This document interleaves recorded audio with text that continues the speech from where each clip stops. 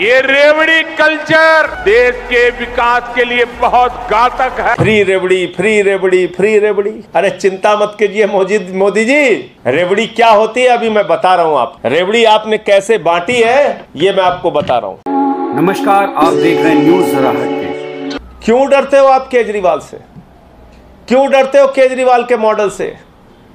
क्यों डरते डरते हो आप? अरविंद केजरीवाल अंतर्राष्ट्रीय मंच पे जाके दिल्ली के शिक्षा के बारे में, स्वास्थ्य के बारे में, बिजली के बारे में, पानी के बारे में, माताओं, बहनों की फ्री बस की यात्रा के बारे में बताएँगे। क्यों डर लगता है आपको? आप इतना डरते हैं कि हर रैलियों में आजकल एक ही प्रलाप कर रहे हैं। फ्री रेबड़ी फ्री रेबड़ी फ्री रेबड़ी अरे चिंता मत कीजिए मोदी मोदी जी। रेबड़ी क्या होती है अभी मैं बता रहा हूँ आपको। रेवड़ी आपने कैसे बांटी है, ये मैं आपको बता रहा हूँ। और ये रेवड़ी बांटी है आपने अपने मित्र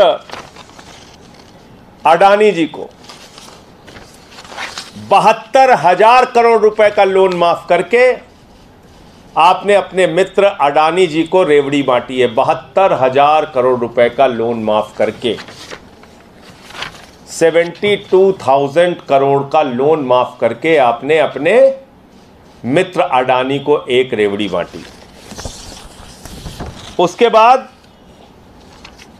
आपने एक आरटीआई के ज़रिए आपकी सरकार ने जानकारी दी है। मेरी जानकारी नहीं है।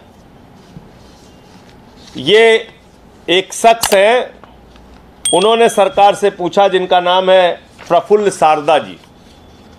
प्रफुल्ल शारदा जी ने पूछा कि भाई आपकी सरकार ने कितने लोगों का लोन माफ़ किया है? तो भारत की सरकार ने बताया, नरेंद्र मोदी जी की सरकार ने बताया सात फिगर सुनेंगे, चौक जाएँगे। 11 लाख करोड़ रुपए का लोन माफ़ किया है। 11 लाख करोड़ रुपए का लोन माफ़ किया है, देश को तबाह कर दिया, दिवालिया कर दिया है। बैंकों को खाली कर दिया।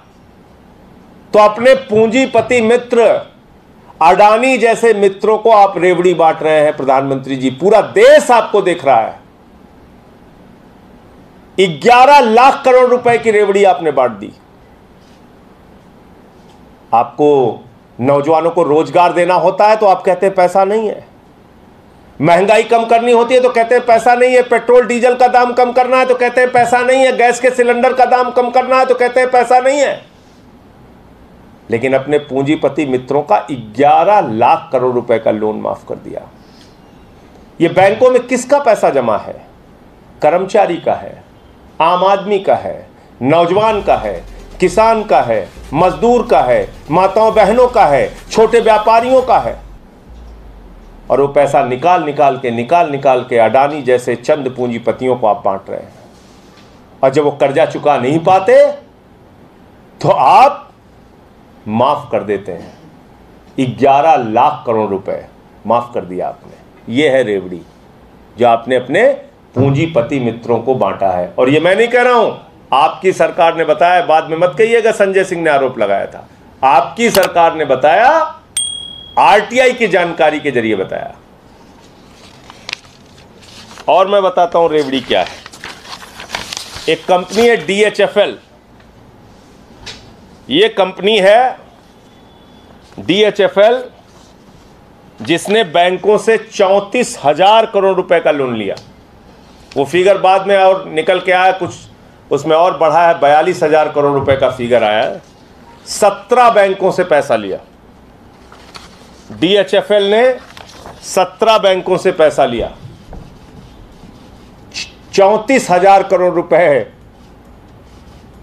बैंक को कंगाल कर दिया, बैंक को खाली कर दिया डीएचएफएल ने।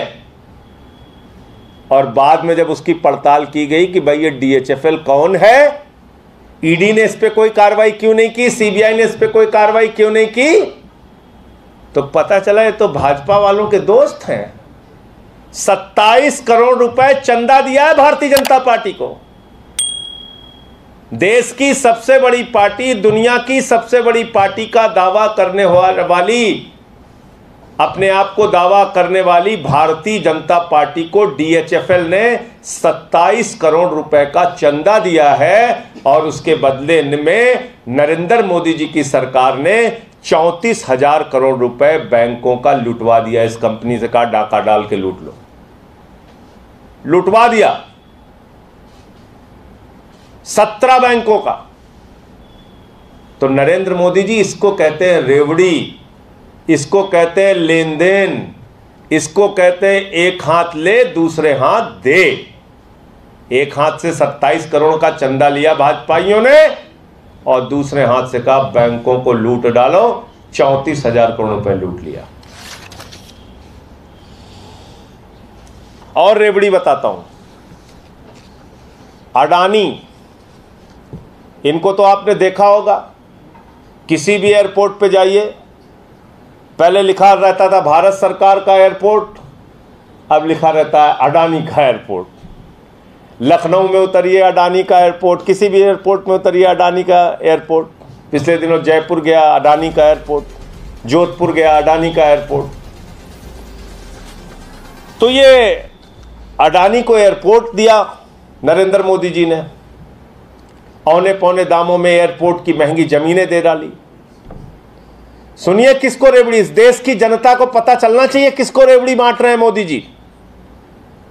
तो जब सब ज़मीन मिल गई उनको तो अडानी ने कहा, भाई, ज़मीन दे दिया, अब हम इसमें बनाएँगे कैसे? इंफ्रास्ट्रक्चर कैसे हम बनाएँगे?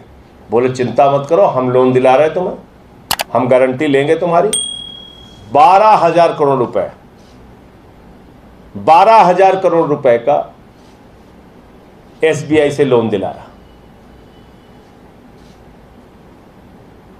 एसबीआई ने गारंटी ली, अगर ये नहीं चुकाएँगे, हम चुकाएँगे। हुजूर, चिंता मत करना। बारह हज़ार करोड़ रुपए। एसबीआई की गारंटी पे लोन दिलाया।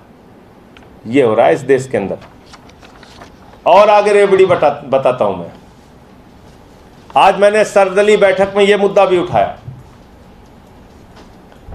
मैंने कहा, भाई, इंडिया का कोयला राज्य सरकारों की बिजली कंपनी को जहाँ पर थर्मल पावर प्लांट है या केंद्र सरकार के थर्मल पावर प्लांट जहाँ पर हैं, इंडिया का कोयला उनको मिलता है तीन हज़ार रुपए प्रति टन. सात दिसंबर 2021 को मोदी जी की सरकार मीटिंग करती है राज्य सरकारों के साथ और कहती है आपको 10 परसेंट कोयला विदेशों से खरीदना पड़ेगा। तो जब वो विदेशों कह रहे थे, मैंने उसी समय कहा था कि विदेशों का मतलब है अडानी से खरीदना पड़ेगा। तो मेरे ऊपर कई लोग सवाल उठाए कि अभी तो खरीदा नहीं, आप लोग तो तुरंत चिल्लाने लगते हैं। तो वही बात सच साबित हुई। राज्य सरकारों से कहा कि 10 परसेंट कोयला आपको जबरन खरीदना ही पड़ेगा, नहीं खरीदोगे तो तुम्हारे यहाँ कोयला भेजना केंद्र सरकार बंद कर देगी। और आपको याद होगा कि दो महीने पहले हल्ला मचाया गया, कोयले का संकट, कोयले का संकट, कोयले का संकट। यह है कोयले का संकट। पता कर लीजिएगा आप सब, बुद्धिजीवी पत्रकार हैं। बत्तीस परसेंट कोयले का प्रोडक्शन हिंदुस्तान में बढ़ा है।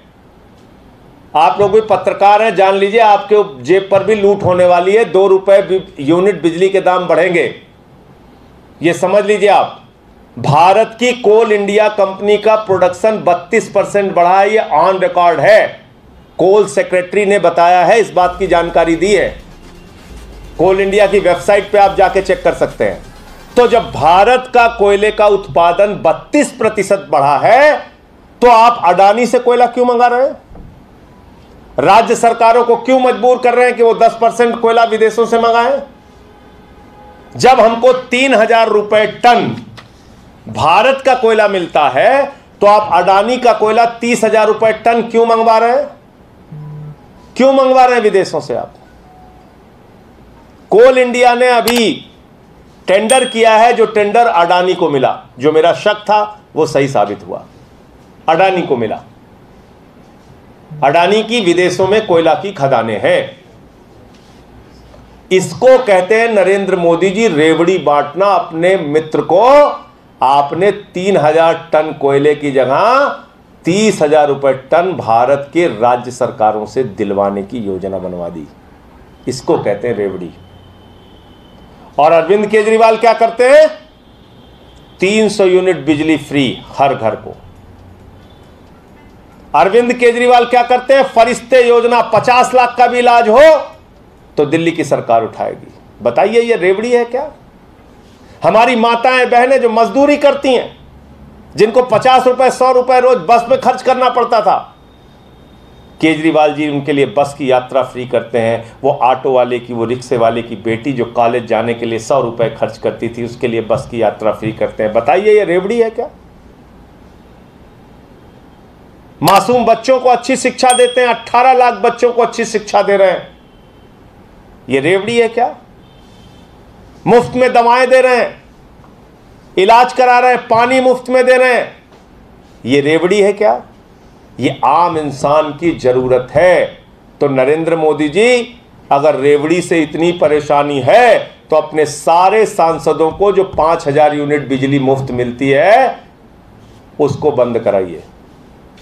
हर महीने पाँच हज़ार यूनिट फ्री बिजली। बड़े बड़े बंगले बड़ी बड़ी सुविधाएँ बड़ी बड़ी तनख्वाहें बड़ी बड़ी गाड़ियाँ, हवाई जहाज़, हेलीकॉप्टर, ये सब बंद कराइए।